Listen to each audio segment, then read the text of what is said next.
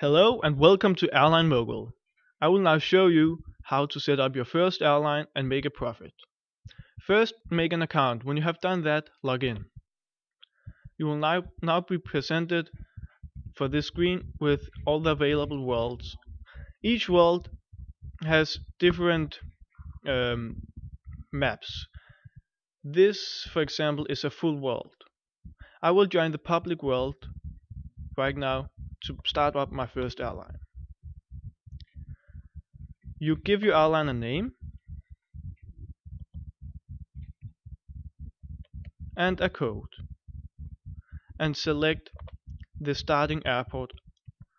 I will select Copenhagen Airport for this tutorial. You are free to select your own name and own starting airport. Please click here to continue. Okay, so as you can see your current bank balance is 500,000 euros. That might seem as much but you'll probably get, probably go in red uh, during the setup of your first routes. You currently have one aircraft. Click aircraft and view aircraft. We can see the range of the aircraft to uh, know what airports we can fly to. The range is found here. When you have done that, go to Operations and Rent Gate. We already have a gate at our home airport. Select the way you want to view the gates in. I select countries, that's what I like most. Let's go down and fly to London. That's in United Kingdom. Then we are going to find London Heathrow. It's in alphabetical order this. London Heathrow. Click rent. We want to rent one gate. Each gate has 10 slots. That means each gate can accommodate 10 flights. Okay, now we have a gate at our home airport and London. Now we're going to create a route. We select our home airport, Copenhagen, and select the continent of our destination airport and our destination airport, London Heathrow. Okay, now we can see all the competition in the route. We can see which airline is flying it, which aircraft, how often they fly it, and the ticket price. We are going to continue on to make the route. As uh, London is uh, inside the range of the aircraft, we can select our aircraft and continue. We can now set a ticket fare. Let's try 500 euros to start with and the frequency of one flight per day. This gives, gives us a load factor of 100%.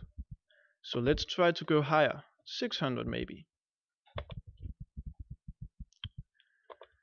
I'm quite sure we can go even higher, 1000. Okay, now the load factor has dropped. Try to keep the load factor as high as possible with the highest prices possible. I think 800 would make the, the deal. No. Okay, now we create the route and we now have our first route. You can click on your airline name to see your route map. If you want more planes, you click on aircraft and select a manufacturer. Let's take Boeing.